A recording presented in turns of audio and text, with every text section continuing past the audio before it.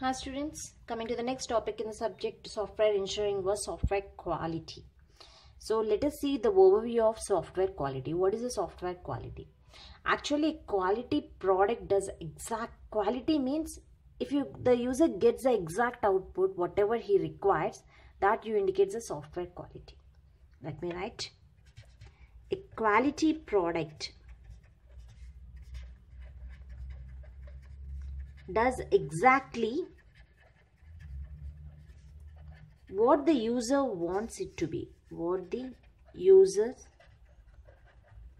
want it to do means want it to do. Suppose if, a, if the product was there if the user want to do something if he is satisfied with that then you can say that the software is a quality a quality product. A quality product does exactly what the user wanted to do so for software products, the fitness of purpose is usually interpreted in terms of satisfaction of requirements. So that thing you have to be remember that. So always the software products, uh, the fitness of purpose is usually interpreted in terms of satisfaction.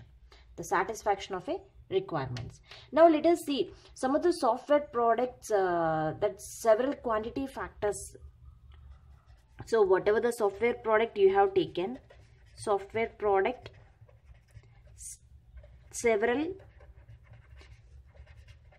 quality factors. So what are the quality factors that are present in any software product? Whatever the software product you have taken and what are the quality factors that will be present on that software product?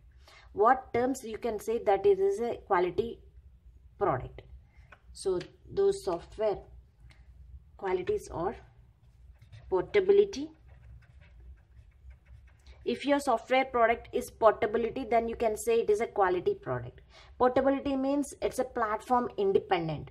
Means it has to work in different operating systems. So whatever the operating system is there that uh, uh, in your system your product is going to be work in that operating system. And whatever the different machines also it's going to be supported. Different apps are going to be supported. Means the product is used uh, used in any way that is a portability.